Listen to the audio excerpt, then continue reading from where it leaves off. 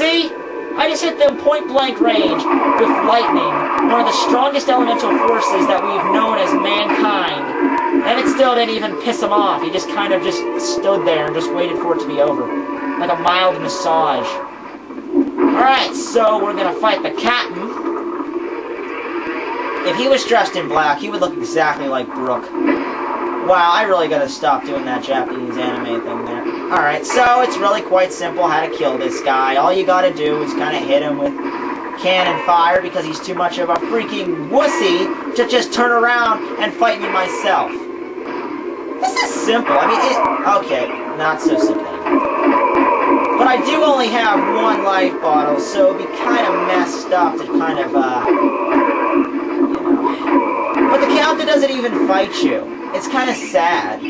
He just hides behind a bunch of barrels.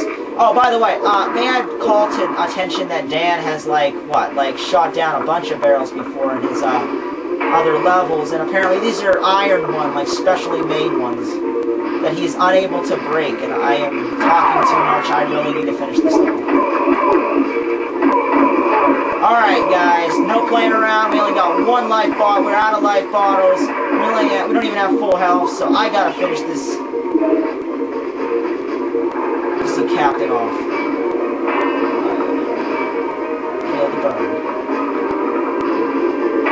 Yeah! Oh, the chalice can be collected now.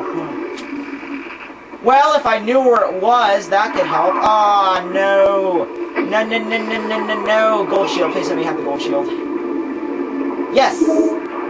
Fear before my awesome gold shield powers. Oh, there's more down here. What the heck have I got myself into?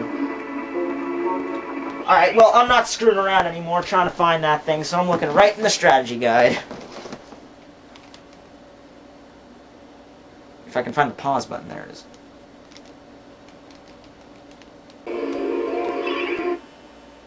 well, I'm glad I finished off the captain before I got the chalice, because I just got the chalice, and I was recording myself for about five minutes before I realized that it was on standby. So, yeah, sorry about that, but since I love you guys so much, I'm gonna do the first stage of Zarok's Castle too. Just to get it out of the way, it's a real quick level, there's no enemies whatsoever, and I really got nothing else going on today. I, I am in a good mood. I'm usually not in the mood to do this. Usually it's like I wake up in the morning and I really don't feel like doing this stuff, but you know, I'm feeling energetic today. I am doing three levels of MediEvil, and this is going on YouTube as MediEvil Extreme Review. Yeah, I'm so extreme. Alright, so Zarok's castle, the actual castle, is nothing more than just a empty building. The real arena and everything is beneath the castle, so, you know. See, all of this right here, that is nothing but, like, empty hallways, what you're seeing right now. Everything else is beneath it, I, in, like in the cellar. I, I don't know, I don't, I don't get that. What do you think Zarok hired to make a castle this high up in the clouds? Huh. Oh, imps! These guys weren't fun the first time, right? Oh, yeah! They got, like, toasted in, like, one hit from lightning. Alright. Alright, well, this is the, probably the last easy level you'll see in a while, but, yeah, this is Zarok's castle.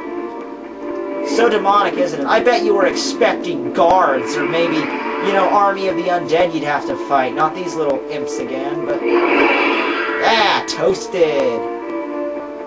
Uh, this is basically, I think they put this in here just so you can recognize it from the main title sequence. Because this is from the main title sequence. This entire area, I think they just put it in here so they would, so, oh crap, we showed those scenes from the beginning of that the start of the level, we gotta show it in there now as an actual level. They didn't really have to do that. I really wouldn't have mattered either way, but alright, man, whatever. Um, this is the uh, place. No, this is the end. Okay, this is the place where you uh, go out of the. Okay. No, I want to go up.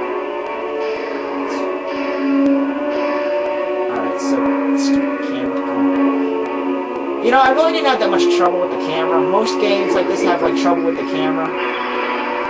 Ah, you can't steal my lightning, can you, you little bastard? I don't think they can. I never really tried, but try to steal my lightning. Can't do it, can you? Okay. Well, that's good to know. Alright, so this is the opening from the beginning, where uh, did his evil dark spell, his Evernight. The... No, this is where he left the castle. This is where he was reading the magic book right here. I guess this is his magic book. No, this is his diary. Now this is his spell book. Okay, where's the part where I get to put all the uh, demons back together and make everyone go away? Summoning demons, robbing people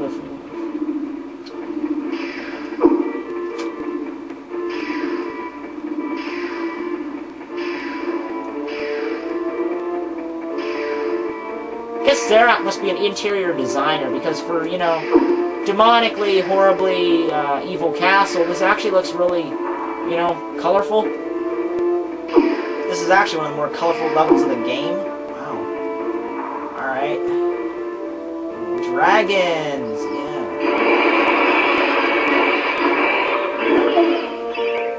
Alright, so he didn't steal the lightning, I just ran out of it.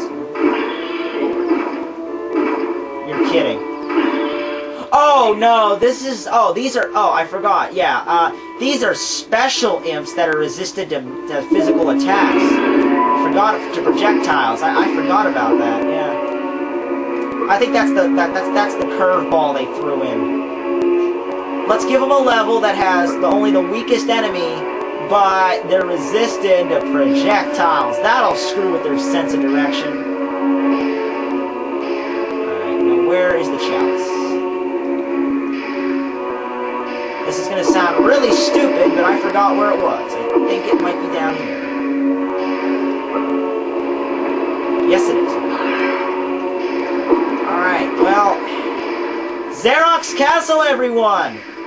You know, I feel sorry for the first gamer who played this game. He was probably thinking, oh crap, here comes Zarok's Castle, hardest level in the game. He's probably getting all geared up, getting all excited, going back, getting his health filled up, and he finally goes in the castle, and he deals with nothing but a little projectile immune imps. Wonderful. Alright, well, that's it. Whatever, man. Nice interior design. You know, not a lot of castles have giant 10-foot dragons in their archway. That's actually very clever. Do I get my statue now? You know what? Now that I finished the most easiest level in the game, I'm probably going to get my statue. Ah, oh, no, you didn't. Okay, you disappointed me, game. Killing a bunch of shadow demons or ghost pirates. No, that wasn't enough. You you you uh, had to throw in that. I thought it would be easy. Now, now it's the shield guy.